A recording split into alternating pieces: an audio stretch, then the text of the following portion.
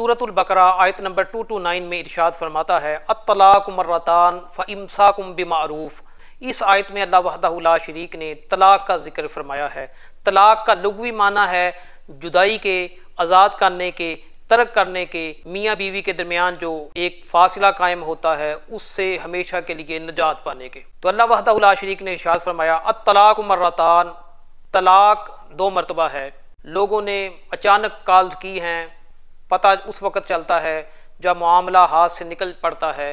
लोग तलाक का मसला उस वक़्त पूछते हैं, जब सब कुछ कर गुजरते हैं, बाद में आके मसला पूछते हैं, फ़ोन कॉल करते हैं कि इस पर हम क्या फतवा दिया जाएगा, क्या बनेगा? तो इस मसले को अच्छी तरह समझ लें। तलाक का सुन्नत तरीका है, वो हर मुसलमान को पता होना चाहिए। सुन्नत तरीका ये है, जब औरत हैज़ से पाक होकर तोहर में आ जाए, पाकी के दिनों में आ जाए तो जब पाकी के दिन औरत को हासिल हों, उस वक़्त वो नहाती है, साफ़ पाक होती है मेकअप वगैरह करके बंदे के सामने आती है। अगर बंदे की थोड़ी सी भी मोहब्बत होती है औरत के साथ तो वो उसकी तरफ़ रागिब होता है। अगर वो करता ही नफ़रत है तो उसे इसका भी पास नहीं होता।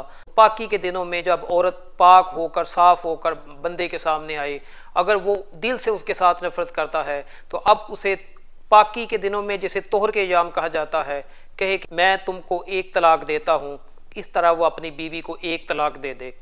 अब इंतज़ार करे, लोगों में मशवरा करे, सुलह सफ़ाई की गुंजाइश बाकी है। अगले तोहर तक, यानी अगला हैज़ जब उस औरत को आए, उसके बाद तोहर की हालत से पहले पहले देखें कितना वक्त है 20-25 दिन उसके पास हैं। वो सलाह मशवरे करे, औरत भी अपने घर वालों से बात करे, बंदा भी अपने घर वालों के साथ बात करे, अपने बड़ों के साथ बात करे।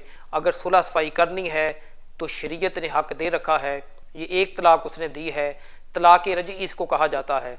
तलाक की तीन किस्में हैं। पहली किस्म है तलाक रज़ी उसे उसने इख्तियार कर लिया है। उसके बाद अगर सुलह सफ़ाई नहीं होती, वो जब उसकी बीवी हैज़ से फारग होकर तोहर की हालत में आए तो अब अगर उसने नहीं रखना उसको सुलह सफ़ाई की कोई गुंजाइश नहीं है तो वो इस मरतबा ये कहे, मैं तुमको एक तलाक और देता हूँ। अब तलाक बाइन उसने दे दी है। तलाक बाइन के बाद भी सुलह का हक है।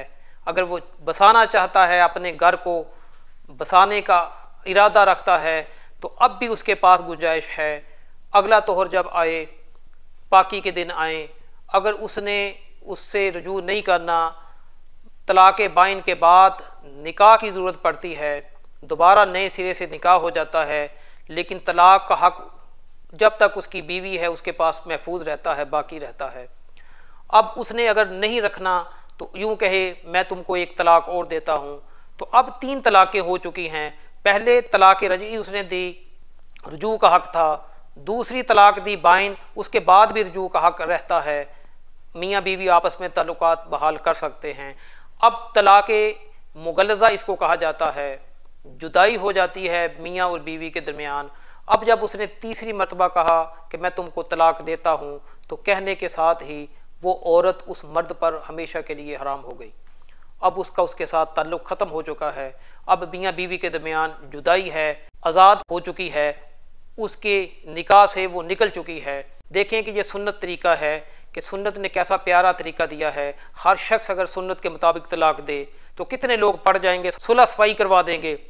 और एक घर जो बस रहा है, शैतान सबसे ज़्यादा इस बात पर खुश होता है कि मियाँ बीवी के दरमियान जुदाई हो जाए, घर टूट जाए, रिश्ते ख़त्म हो जाएँ, यही वजह होती है कि जब तलाक वाक़ होती है, बाद में बात, लड़ाई झगड़े तक चली जाती है, कत्लो गारत तक चली जाती है, फिर शैतान कोई कसर नहीं छोड़ता। तो सोचना यही है कि सुन्नत तरीके के मुताबिक अगर आप तलाक देंगे, अगर आपने अपनी बीवी को नहीं रखना, सुन्नत तरीके को अपनाएँ, फिर किसी आलिम के दरवाजे पे आपको दस्तक देने की ज़रूरत नहीं। किसी मुफ्ती के दरवाजे पर दस्तक देने की ज़रूरत नहीं। सुन्नत से मोहब्बत कीजिए। सुन्नत में बड़ी आसानियाँ हैं, बड़ी बहारें हैं। अल्लाह ताला हमें सुन्नत के मुताबिक ज़िंदगी बसर करने की तोफ़ी नसीब फरमा